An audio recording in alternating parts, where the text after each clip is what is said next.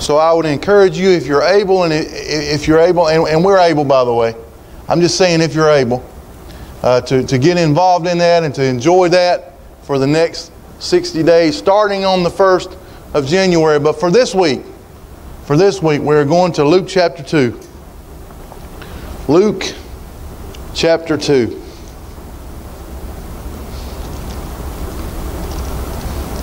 This is not necessarily a Christmas message. I came up with this message. The Lord gave me this message about a year ago. And uh, something else was going on, and I wasn't able to preach it. So we're going to, we're, we're going to get into it this morning. Um, there's a lot of practical things in here for us to keep in mind here in Luke chapter 2.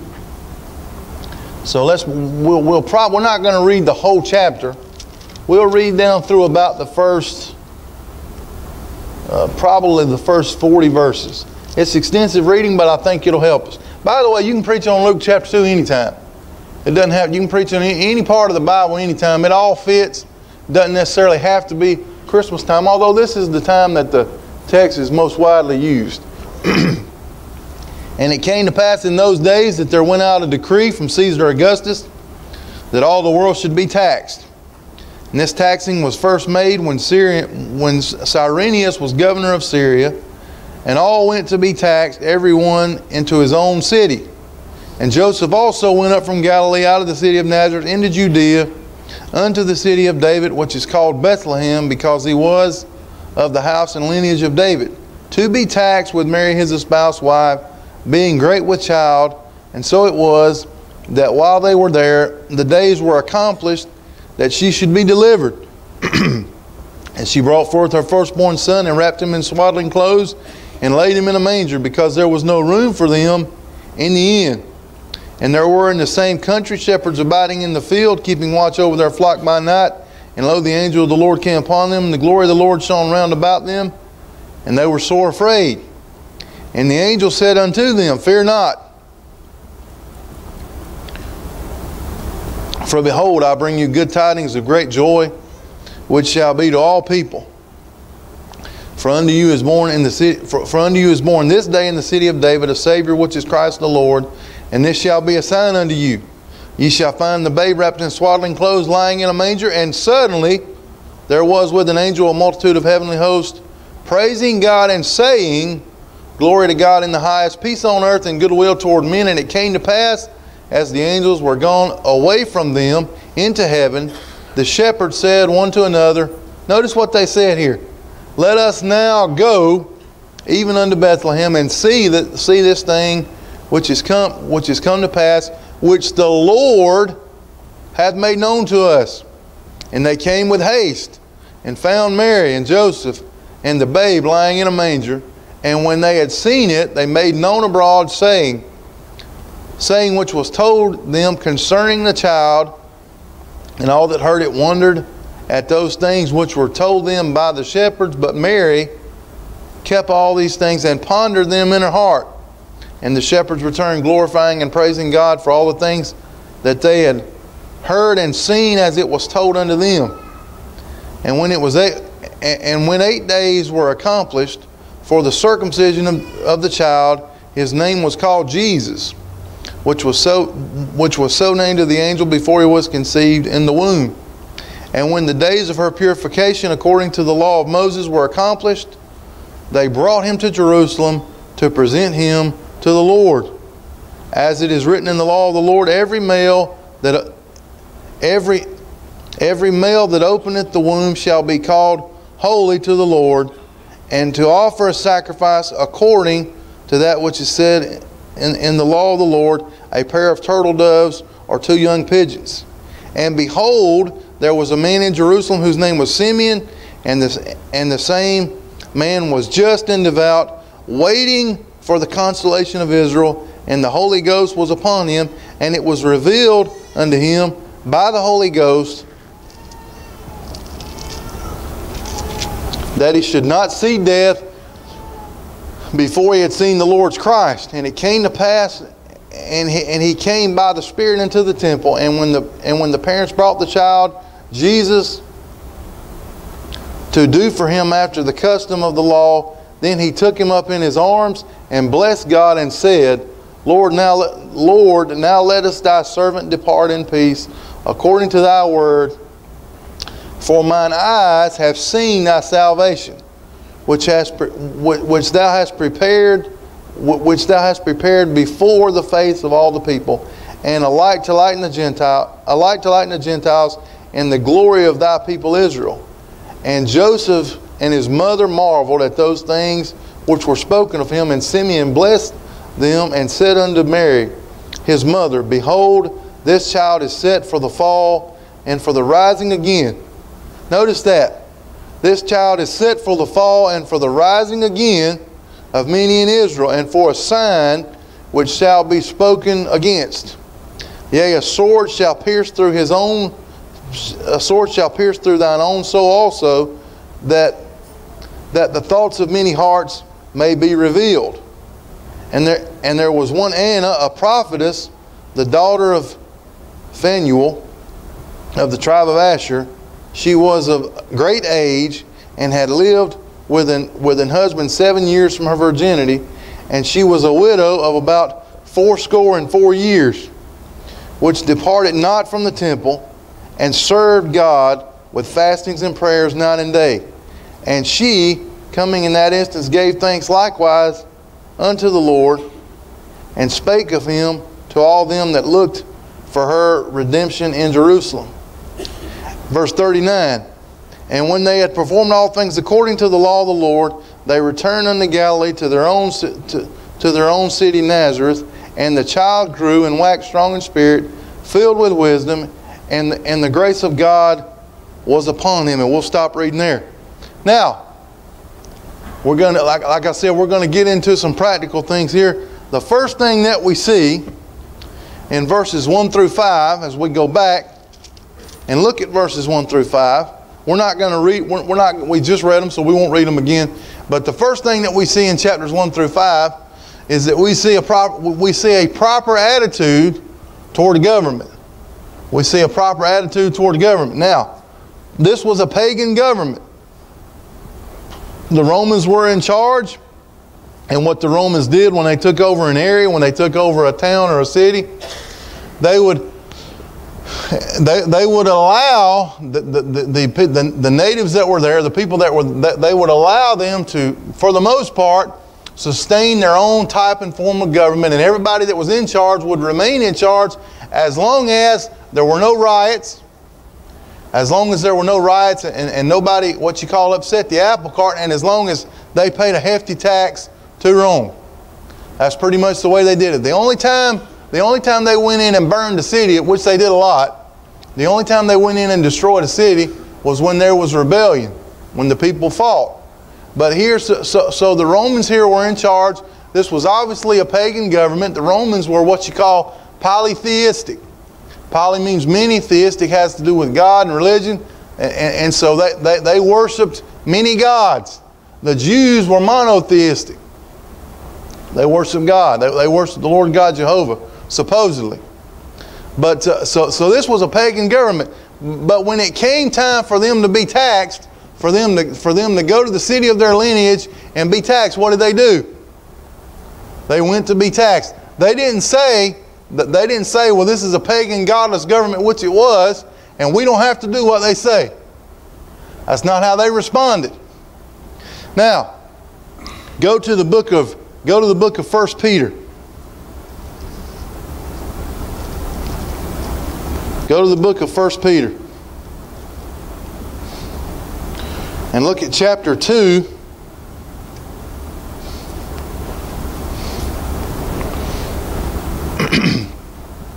And we'll begin reading in verse 12. Having your conversation, your way of life, your manner of living, your conduct, having your conversation honest among the Gentiles. Now, the word Gentile here is standing for the word pagan. People that aren't people that aren't saved, people that have not been regenerated. That's the way. It's not just talking about because if you if you're a Jew, if you're if you're not a Jew, you're a Gentile. It's real easy. It doesn't matter what color you are, it doesn't matter what language you speak. If you're not a Jew, you're a Gentile. But, but, but the, the, the word Gentile here is not just referring to that. it's referring to people who, who are unregenerate, unregenerated. A lot of times the word heathen is accompanied with Gentile in the scripture somewhere. So he said, I want you to be honest among the I want you to have an honest conversation or uh, an honest manner of life among the Gentiles, that, that, that whereas they speak against you as evildoers, they may by your good works, that they may, they may by your good works, which they shall behold, glorify God in the days of visitation. And, and, and he gives a list of things to do. He said, I want you to act right among the Gentiles so when the Holy Spirit visits them, when the Holy Spirit convicts them of their lost condition, they can look at your example and they can look at you and they can know that Christ is real.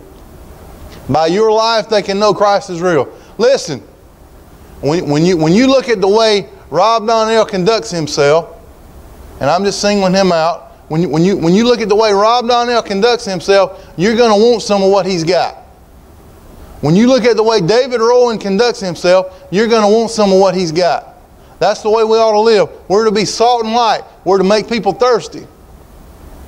And that's what he's saying here. Then he gives them a list of things to do. And notice the first thing he says. Verse 13. Submit yourselves to every ordinance of man. Submit yourselves to every ordinance of man. Now, we can't, we can't just stop there. We can't just stop there. If they're, if they're debating something in the courts, if, if they're debating something in the courts that we know is wrong, there, there's something in the public arena that we know is wrong, as believers, as people who know the Word of God, we got to cry out against it. We got to say, this is wrong, and we don't want this to become a law. We don't want this to become a law. It's not right. But once it becomes a law, you submit to it unless, unless it violates the law of God.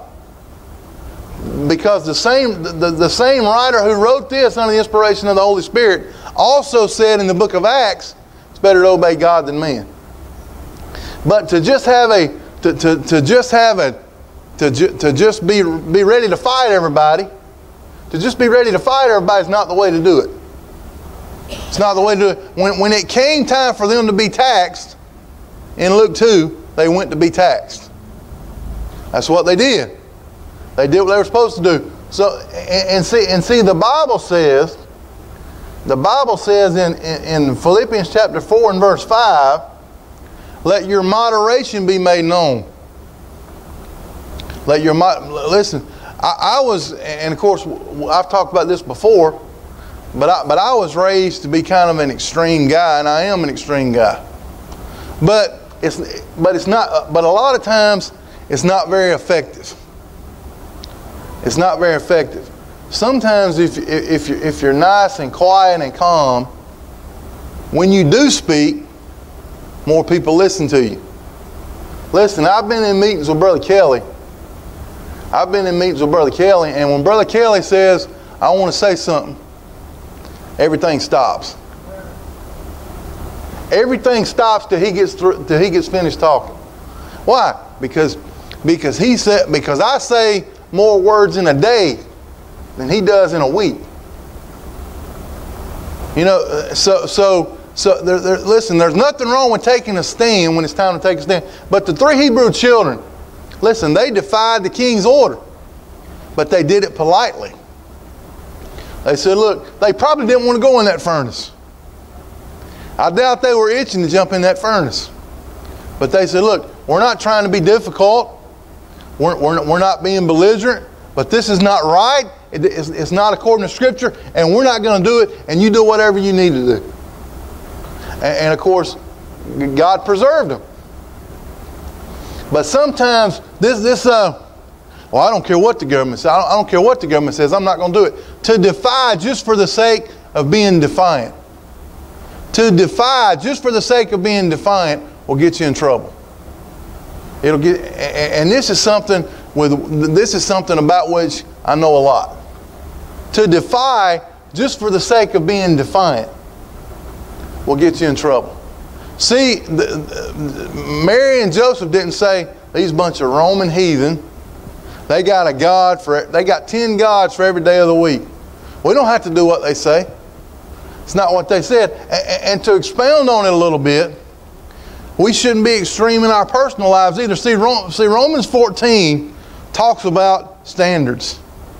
It talks about convictions. You know, we just got through with Christmas.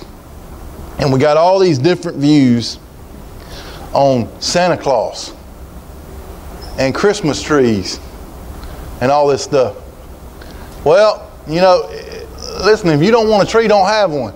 If, if my wife didn't put it up, we wouldn't have one. Not because I'm against them, because I'm just not going to do it. I, I, I, don't care one way or the other.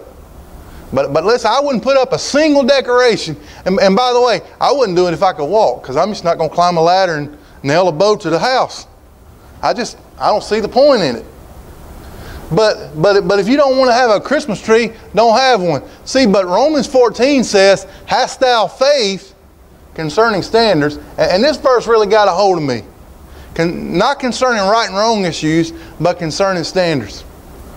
Uh, it, it says, Hast thou faith? Have it to thyself before God. And then it goes on to say, Happy is the man who condemneth not himself in that thing which he alloweth. Listen, my, at my house, my kids talk about Santa Claus all the time. But they know it's a game. I mean, listen, we locked them in their room the other night and wrapped gifts. Well, we didn't. There, there's not a lock on their door, but I, I, I went to them. I said, "Now look," I said, "Anybody who touches this doorknob, I said, I said, not only can you come out of the room, you can't even touch the doorknob."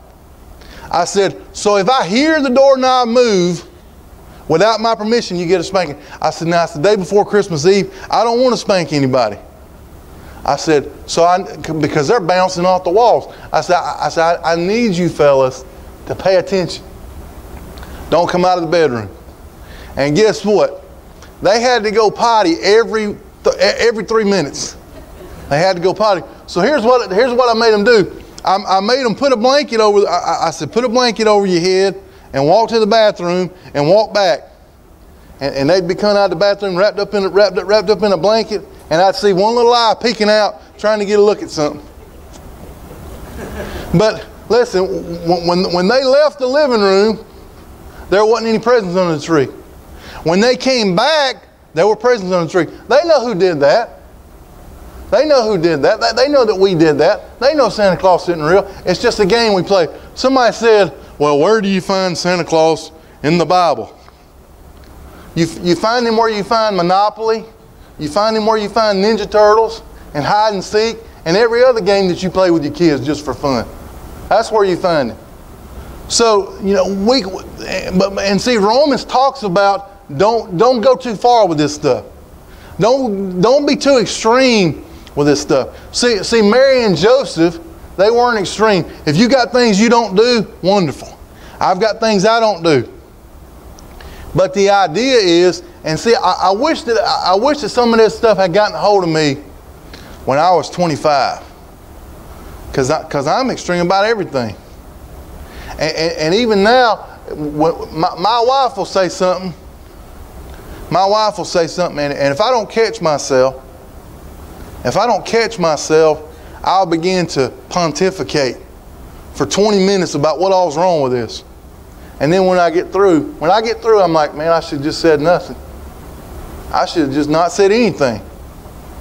But, but, but, and so we're kind of broadening the topic a little bit because not only should we not be, listen, if you got to stand against government, stand against government. I, I, I've said publicly numerous times, I do not support anything that the current administration is a part of chances are, unless the President of the United States were to get saved, chances are, if he's for it, I'm against it. I don't mind saying it publicly. It, it doesn't bother me. But when it came time for them to be taxed, they just went and got taxed. That, they, they, just, they, they just went and did it. So that's number one. Number two, not, not only not, practical things in Luke 2 is what we're looking at. Not only that, but number two, people just went about doing their job. Listen, the world's in, a the world's in bad shape. All you got to do is turn on Facebook. All you got to do is turn on the news. All you got, I mean, uh, the world's in bad shape. Listen, when you, when you, when you say, when, when, when somebody who's supposed to be educated makes a comment like, we're not going to call them boys and girls anymore because that, you know, because we don't want to limit them. We're just going to say blue and pink. That's how we're going to refer to. Listen, boys ought to dress like boys and look like boys and be men, and girls ought to dress like girls and, and grow up to be women and, and make somebody a good wife. That's the way God designed it. There, there is no more lofty position anywhere. There is no more lofty position anywhere than a good godly wife. Anywhere. But but and, and, so boys ought to boys ought to look like boys. Bible says it's a shame for a man to have long hair.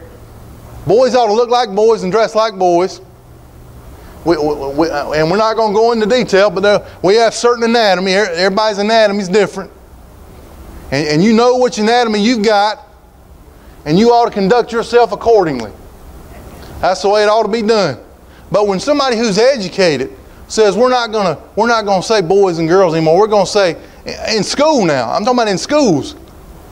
We're to say pink and blue. Listen, if you'd have told me at 15 that I could use the girls' bathroom, that would have been a problem. I mean, I'd have just been a girl that day. I'm a girl today. I mean, that's, that's ridiculous. My, my point is, the world's in bad shape. But you know what we got to do? We got to go about and do our jobs. We got to do what God's called us to do. Look at verse. As bad as things were, as bad as things were at this point in time in history, look at what was going on. Go back to Luke 2 and look at verse 8. And there were in the same field shepherds abiding in the field, keeping watch over their flock by night. They were just going about doing their job. Listen, we can't sit in our we can't sit in our rooms with the covers over our head, wondering what's going to happen. Just quit everything. We can't, we can't pray 24 hours a day and not get any work done. These shepherds, they were under captivity. The Romans had taken over. Things probably looked pretty bad, but they were just going about doing their job. Listen, you know what, you, you know what Noah did? He just did his job. God said build an ark, he wouldn't build an ark. Listen, this I don't know what this is doing for you, but this helped me.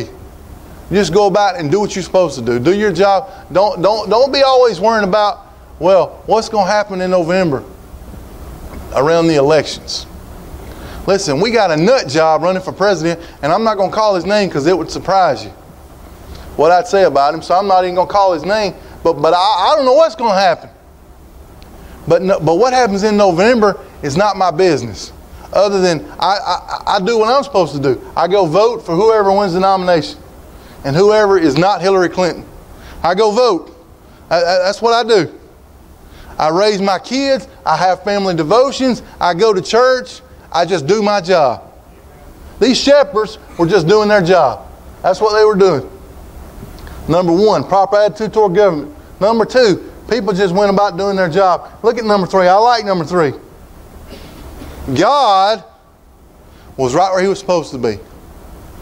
Listen, brother, brother Owens one gave me this idea for this message because about every time he preaches it, he says something to the effect of that God didn't ask anybody's permission to just show up. He didn't ask Caesar's permission to just show up. He, he went out there. Listen, why didn't he go into the throne room and say, I'm here? He didn't do that. He went out to some shepherds. He went out to some shepherds. And, and you know what? The shepherds didn't say, Well, we had a vision we're, we're more special than everybody else. They said, let's go, talk, let, let's go tell people what the Lord showed us. If you, if you read further down. But, but God, listen, God's right where He's supposed to be. Uh, eh, eh, listen, every day, 24 hours a day, seven days a week, there's not a second. There's not one second where God's not where He's supposed to be. Not one second. Now, I understand that we can push God out of society. As a whole, we can say, God, we don't want you. And that's pretty much what we've done as a whole in our society. We can say, God, we don't want you. You know what God does? He takes his hand away. See, because when you when you reject God, you lose his safety and you lose his moral direction in society. Those are two things that you lose. See, there have always been there's always there, there's always been drug use and violence and pregnancy outside of marriage and, and all kinds of deviant sexual lifestyles. There's, there's always been these things. From the time sin entered the world, there's always been these things. But here's the difference 50, 60, 70, 80 years ago, these things existed. But they existed in the shadows.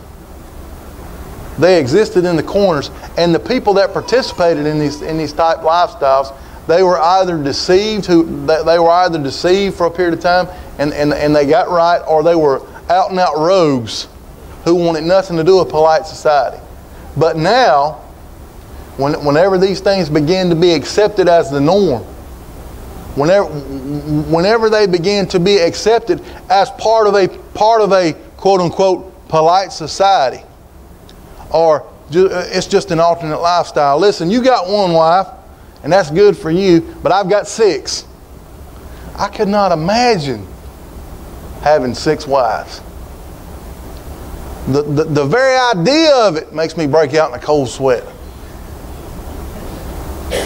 I could not imagine having six wives. And my, and my wife could not imagine having six husbands. So it's not just me, especially if they were all like me. But that's the new thing now. The, the, the, the, the, whole movement starting, certain states have already started accepting it where you got more than one wife. See, but God is still on the throne. He's still on the throne. Listen, when he got ready to proclaim that Jesus was here, he just went and proclaimed it. He just, he, he just, he just went right up in the middle of it and proclaimed it. So, number one, these are things that should encourage us. These are things that we should keep in mind. Number one, a proper attitude toward government. Yes, we ought to rebel against government when we have to, when it violates the law of God. But until that, the Bible says to submit to every ordinance of man. And, and by the way, I didn't read the next phrase in that verse. It says, submit to every ordinance of man for the Lord's sake. That's what it says. For the Lord's sake. That's number one. Number two, people are just going about doing their jobs. Number three, God is right where He's supposed to be. You know, back whenever we had the first big school shooting, well, by this point, we'd already had two or three of them, and somebody and somebody was interviewing Billy Graham's daughter. And, and, and they got kind of smarmy with her and said, Well, why do these things keep happening if, if God loves us and if, he's, and if He's in charge? And she said, she said, God's a gentleman. She said, We've asked God to excuse Himself from our society. So that's what He's done. See, when, God begins to take His hand away from society, you're going to, you're going to start having problems that cannot be explained. Listen, just, just a few days ago, or I think it's been a while now, but a, a seven year old beat a one year old to death for crying during his favorite cartoon. Listen, that can't be explained without bringing in spirituality. If Kevin Mills decides to shoot me for my life insurance policy, that can be explained. I, I, I, had a life insurance policy that was a certain worth a certain amount of money, and he wanted it, so he shot me. It's not it's not right, and it puts me in a bad position, but it can be explained. The love of money is the root of all evil. It can be, but but when, but when you start having children that aren't even to the age of accountability, probably committing gruesome violence against other children, against family members. And you got these child psychologists breaking their backs and racking their brains trying to figure out what's going on. You can't explain that without bringing in the spirituality, without putting it in a spiritual realm. It, there, there is no solution for it outside of that. So, and, and so I've, I've often wondered why doesn't somebody just say, why doesn't somebody somewhere up top just say, okay, I don't necessarily agree with the theological part of the Bible. But let's put the Bibles back in schools just for the social aspect of it, J- just to keep society under control. With, with all these supposed geniuses and all these deep thinkers, you think somebody would have said that. The, the, the reason they don't do it is because they want there to be a certain amount of chaos, so they'll, so they'll have a reason to take over one of these days. They want there to be a certain amount of chaos. Listen, when, when God takes his hand away and you keep saying, okay, we want you to move further back, move further back, move further back, that's what's going to happen. But see, the Bible says in Colossians 1, by him all things consist. So, so when he starts lessening his influence, because he doesn't violate man's free will, when he starts lessening his influence, things begin to fall apart. Like the poem says, the sinner cannot hold. Things are just going to kind of start to deteriorate. But I know this. That leads me to number four. If we look at Anna, and if we look at Anna and Simeon, number four, God's always going to have His people. Until we're raptured out, no matter how bad it gets, God's always going to have His people. Listen, there were still people waiting to witness the salvation. Excuse me. There were still people around waiting to witness the salvation of God. As bad as it was, the most, the most ruthless empire to ever exist, except for maybe Alexander the Great, was in charge. And they were bearing, they, they, they had already started bearing down and, and things were about to get a whole lot worse. Listen, after Christ died, after Christ grew up and died on the cross for the sins of the world, things got a whole lot worse. But they were about to crack down on believers and Christians. And it may get that way again before the rapture, I don't know. But I know this, and I can't believe I'm saying it everything's going to be fine. You know why? Because God's got His people. God's got, God's got, God's got positions open. By the way, God's always got some positions open for some more people. The question is, are you going to be one of his people? Or to use to, to use a good buddies of mine phrase, are you, he, he says I'm a he says I'm a board member of the hand wringing society. That's what he says about me. He says I'm a board member of the National Hand Wringing Society. Well, we don't need to wring our hands we don't need to worry because God's always got His people. God's right where He needs to be. What we need to do is just go about doing our jobs, raising our families. Listen, Noah just did his job. And guess what? Every single, every single one of his children and every single one of their wives got on that ark with him. And it was at a time when the thoughts of the heart were only evil continually. That's a spooky statement. The thoughts and imaginations of their heart were only evil continually. It was pretty bad here in Luke chapter 2. But Mary and Joseph, number one, they had a proper attitude toward government. Number two, people were just going about doing their jobs. Number three, God showed up when He wanted to. He was right where He was supposed to be. And number four, God's always got His people. I, I hope, I hope today I hope today that you're one of God's people. I, ho- I hope that you're saved. I hope that you've rested in the finished work of Christ. You've allowed the Holy Spirit using the Word of God to convince you that everything that needs to happen has already happened, it's already been done, and, and all you need to do is believe it. Christ has already come, He's already died for the sins of the world. He went back to heaven after being in a bar tomb for three days, and the blood is, and the blood is on the mercy seat right now. And God says, Come. And we are to trust Christ and live for Him. Thank you for your time. I'm going to ask Brother Rob Donnell, if you would, sir, to lift up your voice and close us in prayer.